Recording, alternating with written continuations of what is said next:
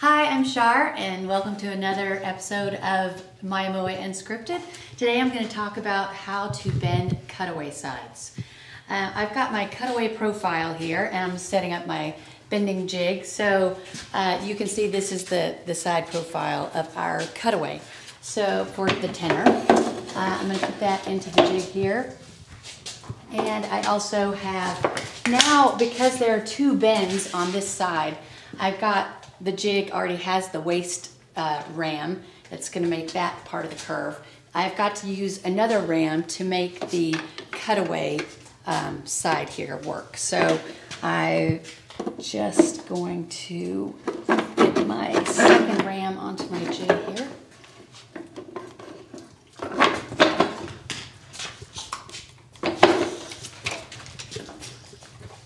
Secure that. Okay.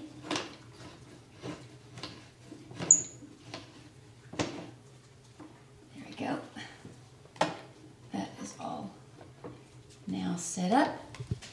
Should work fine. Now, uh, here are the sides that are going to be bent. Set of koa. i am going to open these and show you they've already been profiled. So now, because we have um, a different shape on the cutaway side, the profile is slightly different for each of the two sides. So if I open this, I'm gonna see that one side is shorter than the other. That is the cutaway side because the longer non-cutaway side has to now accommodate the entire neck block. So I'm gonna set this one aside and bend it the normal way, which you've already seen. And this is my cutaway side. So one thing that I have to do on the cutaway to accommodate that super tight bend is I have to make this thickness a little a little shallower. So normally it thicknesses to 85 thousandths. I'm gonna take this down to 80 thousandths and then we'll pick back up from there. Hi, I'm back. I have taken a little bit off of this side that we're gonna bend for the cutaway. I've matched up, gotten some binding pieces. This koa is gonna get some maple binding. I bend these together so the curves are the same. You'll see that I've also applied some masking tape on the piece binding pieces and the side in the tightest part of the curves of the bend so that I can um, alleviate some of the proneness that this has to grain lifting. So now, um, the other thing I wanted to tell you is that when these sides get profiled, the center of the waist gets marked, and I have that lined up here on my uh, metal pieces so that when I put those into the bending form, I can line that up. And the goal is to get the ends at the tail of the instrument to match up so I have a beautiful book match so you can see the darker areas. So I want that to match up and that's uh, waist mark is, is key to getting that to happen. Now what I'm gonna do is spritz these sides and the uh, binding pieces with water. I'm gonna let those rest for 10 minutes and let that soak in and then I'm going to bend it. So I'll spritz it now and I'm gonna go ahead and sandwich it between my pieces of metal, spring steel. I don't overly soak it or anything. I just give it a nice uh, spritz. I'm gonna line it back up with my waist. Do the same with the binding pieces. Uh, and then I'm gonna let that soak in. I'll go ahead and put it in the form so that it's ready to go when my timer goes off. So I'm gonna line this up here. I've got my waist marked right here. Get my heating blanket. I also have a waist mark on my heating blanket. And I'm gonna put that into the form, into the jig here.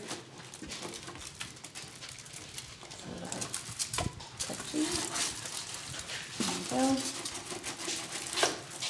Easy does it. There's my waist mark right there. Just push that down enough to hold it in.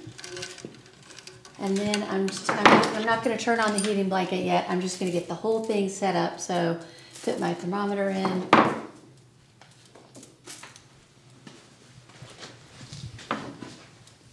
Then I clamp it all together, very important. so that I get even heating when I do turn it on. Just give that a little bit more of a push. And I've got my clamp down here, ready to go. I'm gonna set a 10 minute timer. And when this timer goes off, we'll come back and go ahead and do the bend. Hi, I'm back. My timer just went off, so it's been 10 minutes. Uh, the wood has been soaking. So I'm gonna turn my uh, heating blanket on. And I've got, you know, my little thermostat here, my little uh, thermometer reading. So it's gonna take, you know, probably five minutes for it to heat up to 230 degrees is where I'm gonna take this to. So uh, I'll be back to you in about five minutes when this is ready. Okay, we're back for a minute here. My thermometer is going off because I have set it at 212 degrees. As I said before, I'm gonna actually take it to 230. So I just wanna be here right when it hits 230. It's, uh, it's gonna take a, a few more seconds to get there. It's at 222 right now. So uh, when I, when it gets to 230, the first thing I'm gonna do is bend the waist. I'm just watching there. And then I'm gonna do this tightest part of the bend before I do the, uh, the, the lower part. So now I'm at 230, I'm gonna turn this down to, you know, about half heat so that it doesn't keep going. And I'm gonna remove my thermometer so that it doesn't beep at me again. Uh, so as I said, the first thing I'm gonna do is bend the waist. So I just slowly down. Now the ram for the cutaway actually kind of started falling forward, but I like that because it's just very gently going to start introducing that curve. So I'm okay with that. My clamp stopped it anyway. So now I just start applying the pressure from the cutaway part ram here. And I just kind of ease it, ease it in, gently, slowly. Hold my breath a little bit. No. Good. Just kind of let it rest a bit. I'm going very slowly because I don't want to crack the side. I don't want to crack the binding. I'm just very easily and gently introducing this pretty severe curve.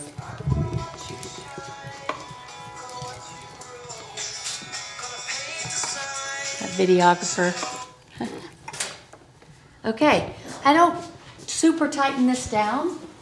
I just, you can see it's actually matching the curve very well. I'm using a metal uh, tool here just to, so that this doesn't cup on me. Feel pretty good about that. And then this lower bout is uh, easy happy. And then I am going to clamp pull that in at the tail so I get a good, I don't get a flare out at the end.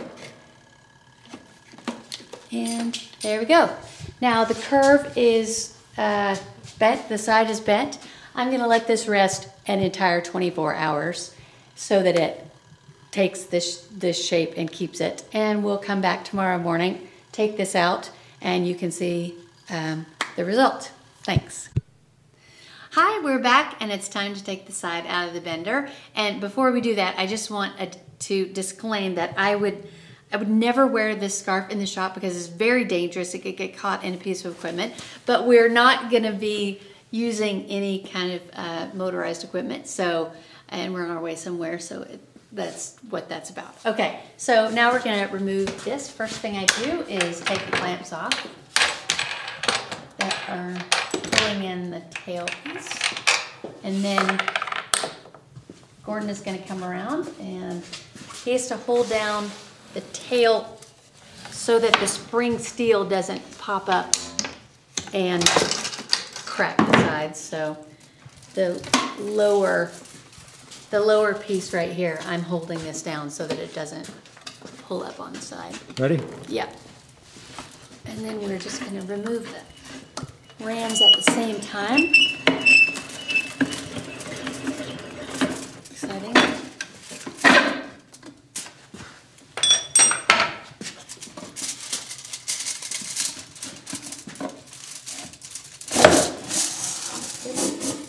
Yep.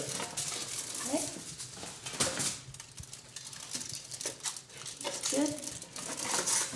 And then we remove the tape here and make sure that everything turned out the way we wanted.